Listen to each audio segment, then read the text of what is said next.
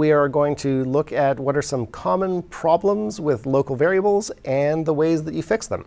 Uh, so let's just go right into Visual Studio here and start creating some variables. Right. Um, the first thing I'm going to do is I'm going to say var first name semicolon. You might notice that something is missing here. Uh, we never gave this variable a value. And if we hover over this thing, it says implicitly typed variables must be initialized.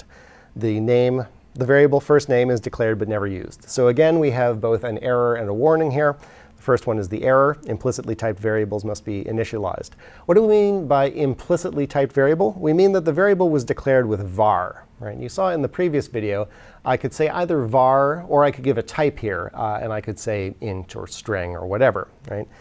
Uh, how is it that the compiler knows what type I intended this variable to be uh, if I don't have an initializer here, right? If I say this is equal to a string, right?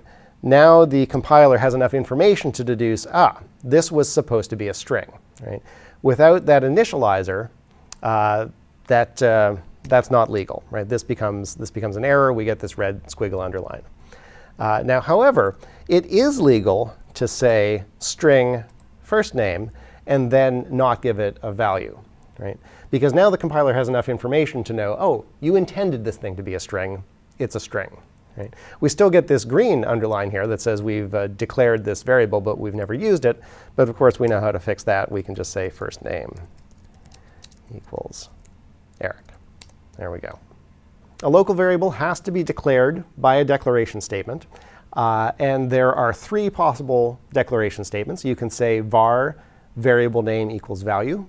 You can say you can give the name of a type and then the variable name uh, and then the initializer, the equals value. Or you can just say type variable name uh, and just go with that, right? You can assign it the value later, right? Um, now, a variable has got to be assigned a value before it is used, right? So suppose I have this variable, first name. I don't assign it the value until later on, right? And now I say console.writeLine first name. Right. Now I get a red squiggly under here. And if I hover over that thing, it says this is a local variable. It's a string. Its name is first name. Use of unassigned local variable first name. Right.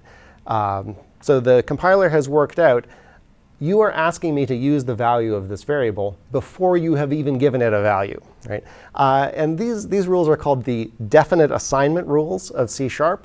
Uh, and they are quite tricky to actually work out uh, what exactly the, the rules are. In, in very straightforward control flows like this, where it's top to bottom, it's not too hard to see that we have uh, failed to assign this thing a value before it's used. Uh, but in other programs, it can get quite complicated. A, a question that I'm often asked and that I often see on Stack Overflow is, why am I getting this definite assignment error? Right? And typically, somebody will have to then explain, well, you have to look at every possible control flow through this method, and you realize, oh, on one of them, uh, the variable is used before it's assigned.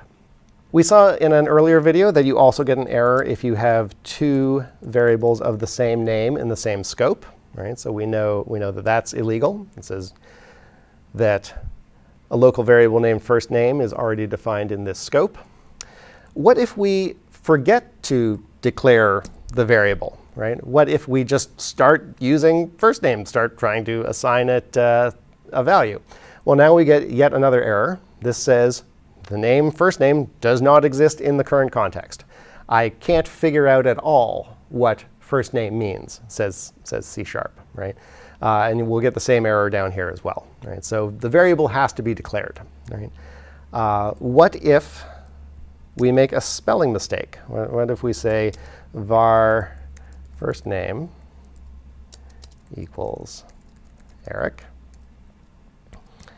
And then down here, we say console.writeLine first name. Well, again, now it will say the name first name does not exist in the current context. This can be surprisingly difficult to, uh, to find, particularly if you use a lot of you know, weird abbreviations in your variable names, because it's, it's easy to transpose letters accidentally and think that you have created a variable when in, when in fact you haven't. Uh, fortunately, you know, this one is this one is pretty straightforward. The one that is often very difficult for people to find is this one, right? Where now it is again saying the very the name first name does not exist in the current context. Well, sure it does. It's right there. C Sharp is a case-sensitive language. So this variable, which begins with the small letter f, and this name, which begins with the large letter f, are considered to be completely different. Right? So be careful that you're not making casing mistakes uh, because they are hard to uh, they're hard to track down. Some languages do allow you to make casing mistakes. Visual Basic, for example, uh, allows variables to be cased arbitrarily, and it just figures it out. Some people think that that's more confusing than it is uh, worth it for the bugs that uh, for the bugs that you don't get. Uh, me personally, I'm kind of on the opinion that uh, that C sharp does it the right way, right? That uh, variables should have a consistent casing throughout. Summing up this video, uh, if you declare a variable with a type explicitly in the code, you do not require an initializer, but you are required to somewhere give a value to that variable before it is used. Right? Uh, we've seen repeatedly that unused variables cause warnings. Uh, we've seen already that uh, if you have two variables with the same name, that's an error. We've seen that forgetting to declare a variable entirely is an error, uh, and that you know, spelling and casing mistakes are also errors. In fact, they are essentially the same as the you forgot to declare a variable error.